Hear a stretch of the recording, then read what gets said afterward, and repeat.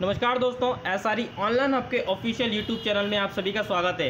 आज के इस वीडियो में हम बात करने वाले हैं UP metro, Uttar Pradesh metro rail corporation limited की तरफ़ से एक बहुत ही बड़ी गुड न्यूज़ जारी कर दी गई है।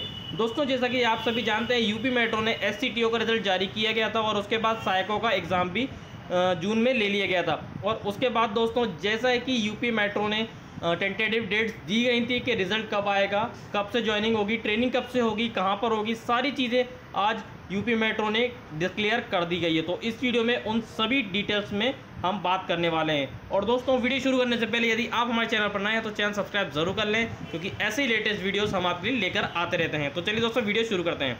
सबसे पहले हम आप ऑफिशियल वेबसाइट पर आते हैं और यहाँ पर आप देख सकते हैं नोटिस फॉर कैंडिडेट में जब आप जाएँगे तो यहाँ पर आपको देखने को मिलेगा।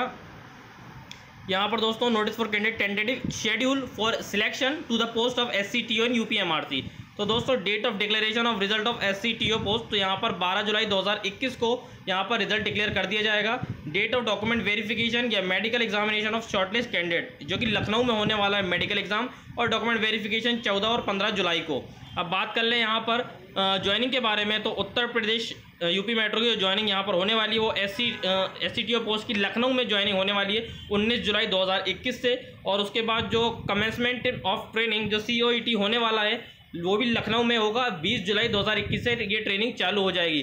तो दोस्तों, उन सभी कैंडिडेट को बेस्ट ऑफ़ लक जिनका सिलेक्शन हो चुका है और जिनका रिज़ल्ट आने वाला है। और दोस्तों, यदि आपको किसी प्रकार का कोई भी आपको कोई कमेंट है तो आप कोई डाउट्स है तो आप हमसे कमेंट करके पूछ सकते हैं। उसका रिप्लाई आपको कमेंट पर मिल जाएगा। साथ ही साथ, यदि आप हमसे मेल पर कॉन्टैक्ट करना चाहते हैं तो जिसका मेल आईडी हमारे यूट्यूब चैनल पर अवेलेबल है, आप वहाँ से भी उस मेल आईडी पर हमें मेल कर सकते हैं। तो दोस्तों, इस वीडियो इतना ही वीडियो पसंद आया तो लाइक और शेयर ज़रूर करना है। चैनल सब्सक्राइब कर लेना है। साथ ही साथ बेल आइकन ज़रूर प्रेस करना है जिससे आपको ऐसे ही लेटेस्ट अपडेट की जानकारी मिलती रहे।